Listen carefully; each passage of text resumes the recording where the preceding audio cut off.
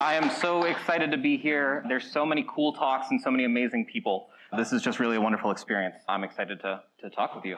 To Airflow, happy 10th birthday.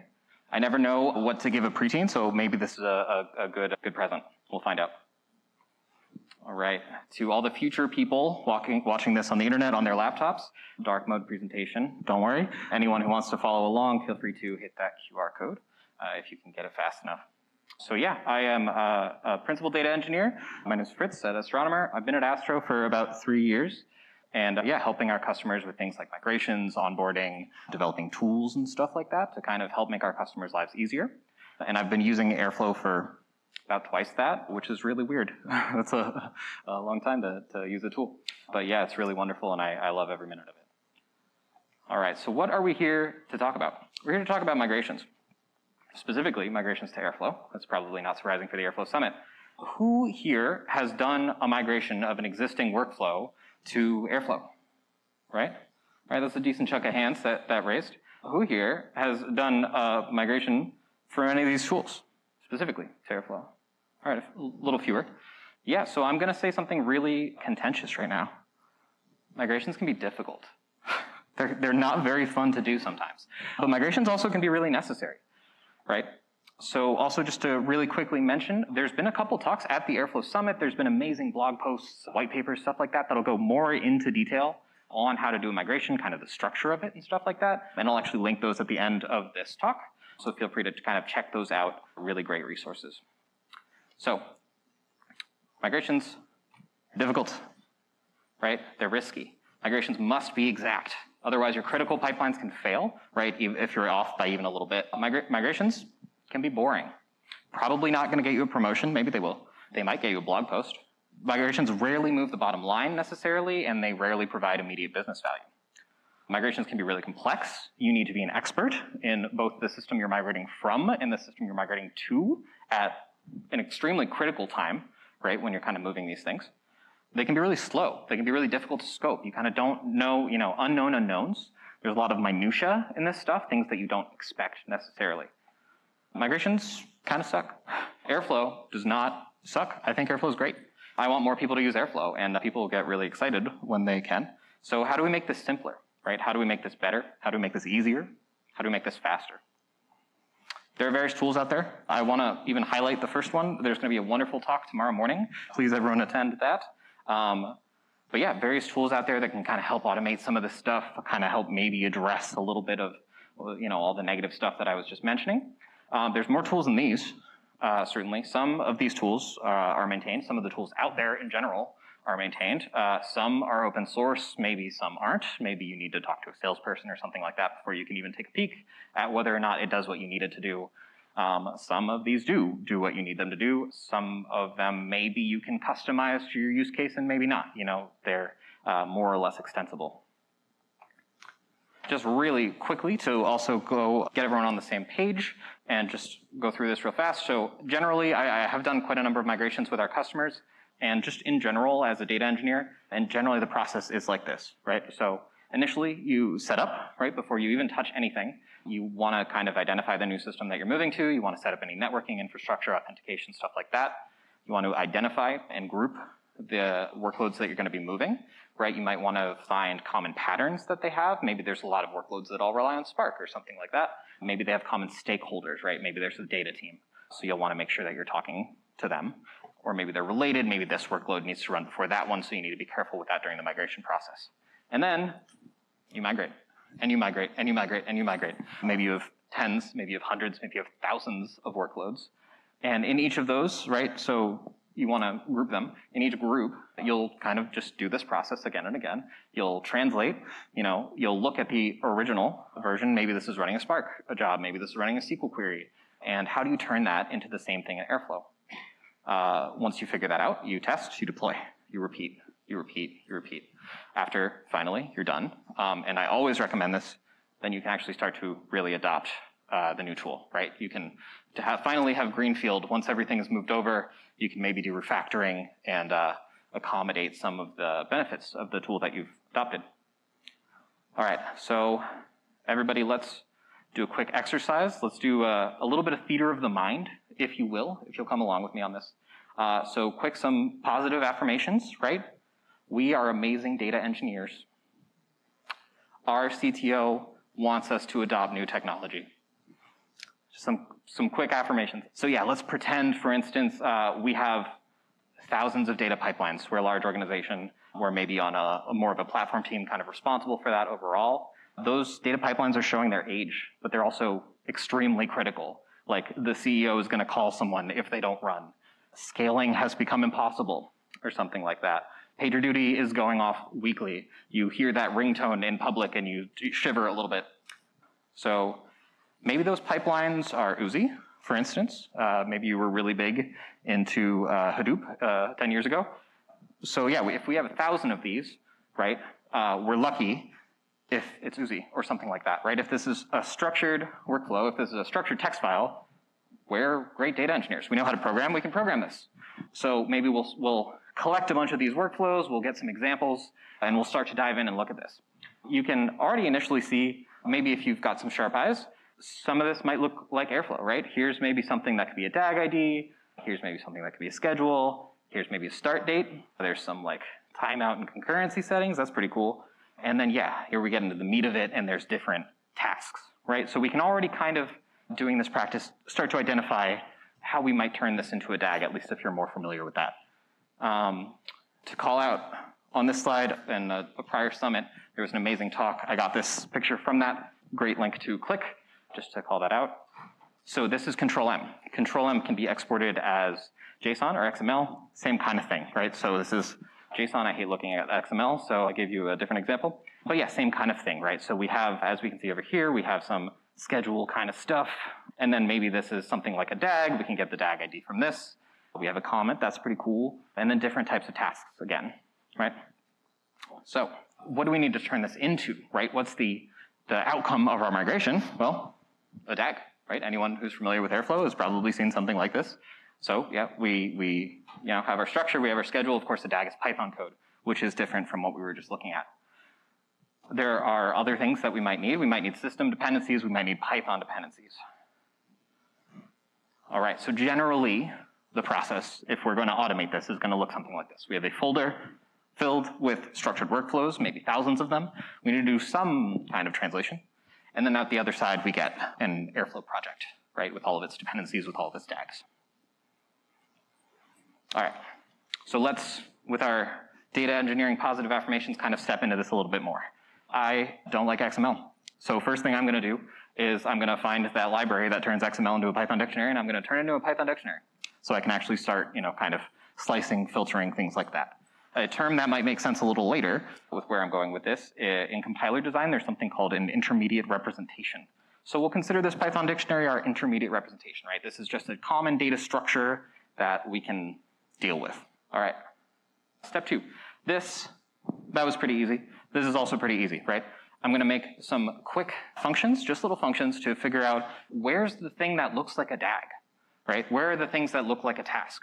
I might want, I might be iterating over a bunch. There might be a bunch of information I just do not care about. It just doesn't matter for what I'm producing. So we'll kind of use those to filter. Maybe give me a little bit of a pointer to what we're looking at. This is the hard part.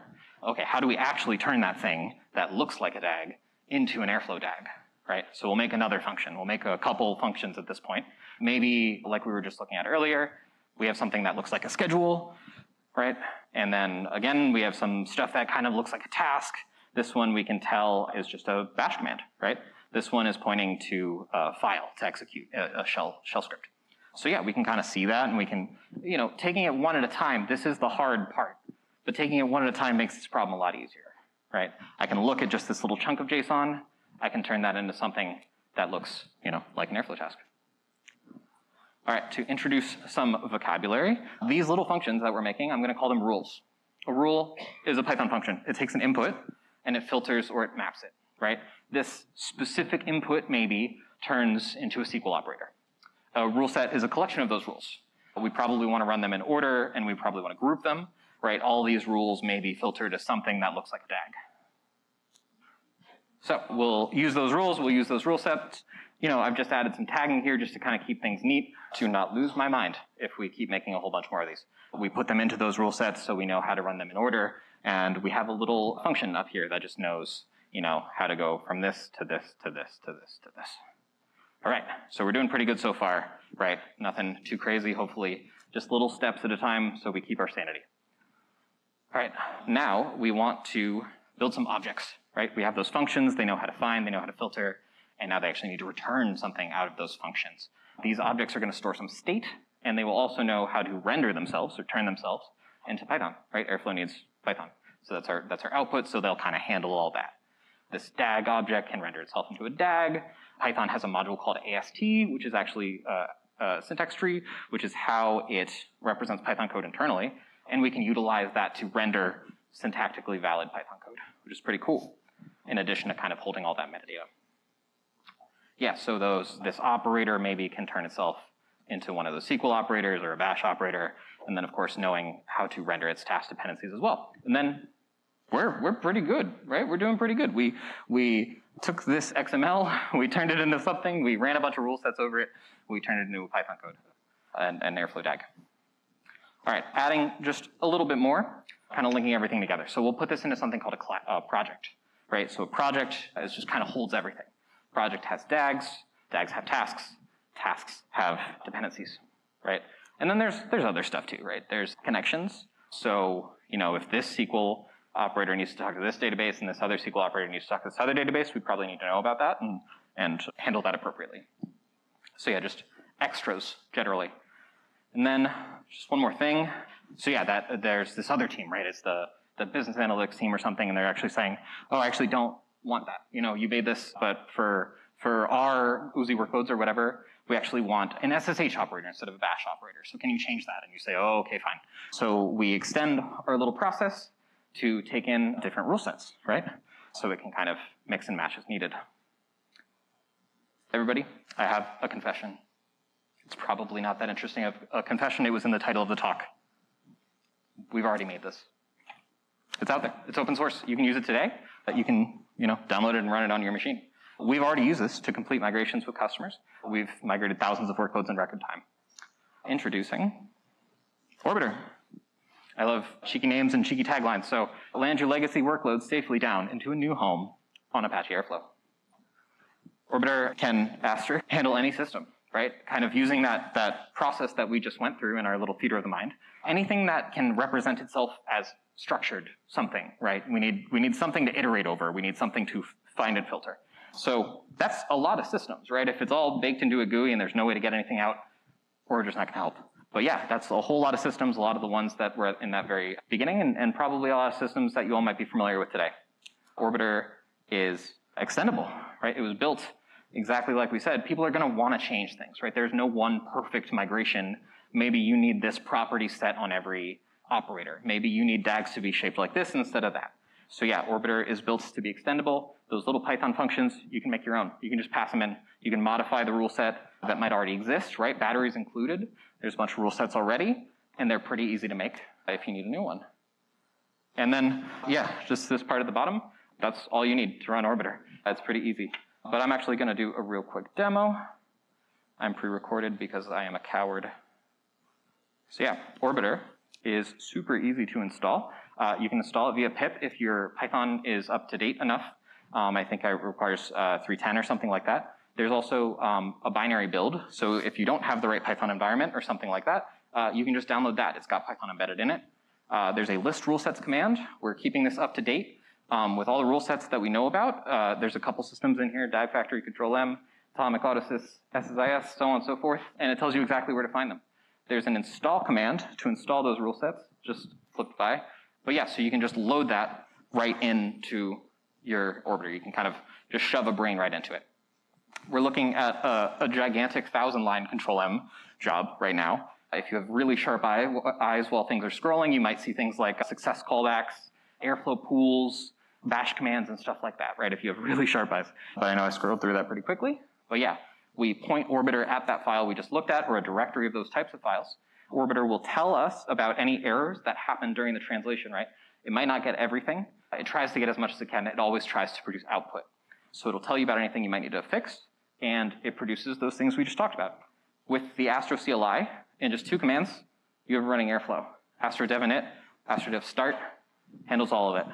We just went in like 30 seconds or something from a thousand lines of JSON to Airflow DAG, just like that. You can see the graph. I promise this is what it looks like in Control M, just the lines are different. Their lines are more diagonal. Ours are more square. But yeah, you could see in there, there was a whole bunch of bash operators all linked together. Handling that edge case, right? That other team doesn't want bash operators. They want an SSH operator. What do we do? So it's easy as this, right? We just need to make a different rule. Rules have a priority. They run in priority order. So we just make one that overrides the default rule and it returns an SSH operator. Easy as that. We just need to know which property we need to put in, um, but we can even just look at the existing rule. So yeah, that's there. And then right after this, we can just rerun Orbiter, right? It's, it just is looking at a directory of text files and producing other files. We can run this as many times as we want. Because this is an SSH operator, there is now a new provider we need to install. However, Orbiter handles, handles all that for us, right? If you're new to Airflow, you might not know what the hell an SSH provider is, but Orbiter was smart enough to add that to our Python dependencies, and now we just do a quick restart. So we're installing that package, and boom, it's all there. These are all SSH operators now. This is all rendering correctly. Airflow is not cranky with us because the provider's installed, and it was that easy. All right, that is that. Call to action, check it out, right? If this sounds good, you know, the docs are right there. I would love any feedback. Feel free to chat with us. Uh, if you have an upcoming migration, uh, talk to us at Astronomer, right? Uh, we have professional services. We would love to chat. Um, of course, you can use this tool without talking to us. It is free and open source. It is. Uh, we would love for this to be a standard for the community to use. Um, there doesn't need to be 20 different tools, right? We can just plug configuration into a tool. Um, so yeah, if that sounds reasonable, uh, there's also this community translations repo. Um, if you do a migration, feel free to uh, push to it, right? If you have a rule set that makes sense um, for others to use, uh, you can always just uh, add a pull request right there.